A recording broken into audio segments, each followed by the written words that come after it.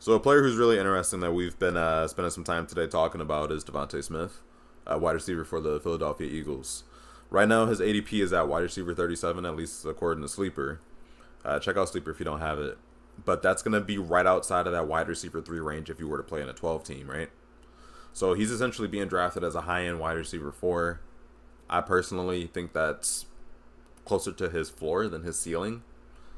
Uh, Dugo, I guess kind of tell me how you feel about Devonta Smith. Yeah, no doubt, dude. So I did a mock, uh, kind of just like right before this, and uh, I ended up actually drafting Devonta Smith.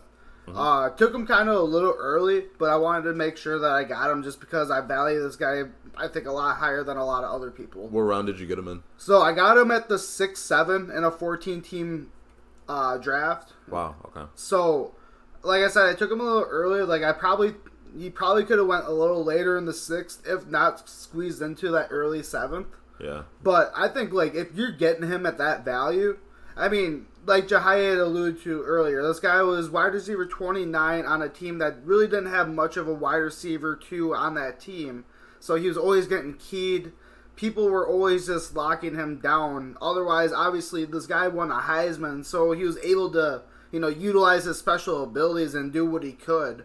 But I think now that he has AJ Brown, I think the ability to shift the defense over like that and just have him almost playing one on one with someone, I think it's gonna get scary for some defenses because DeVonta Smith in you know open spaces. That's probably one of the scariest people in the NFL right now. If I'm gonna be honest.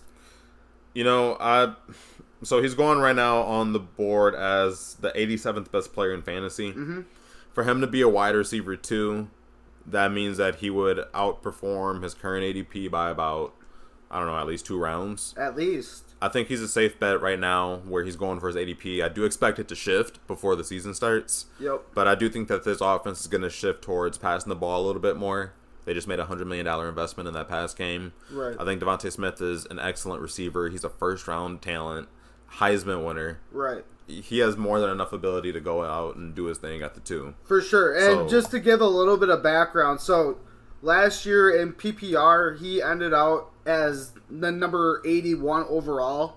So when you're thinking about drafting him at 87, I think not only is I think he going to be just overall better, but I think that his positioning, everything like that, especially with AJ Brown shifting that defense over, is going to make his life a lot easier as probably the two on that team, but nonetheless, yeah. he's going to be getting targets like none other, I believe. He'll have more opportunities for explosive plays. Absolutely. And so at the end of the day, I think he's going to be around that wide receiver 25 mark by the end of the season, mm-hmm. locking him in as, let's call it, a wide receiver 2, wide receiver 3.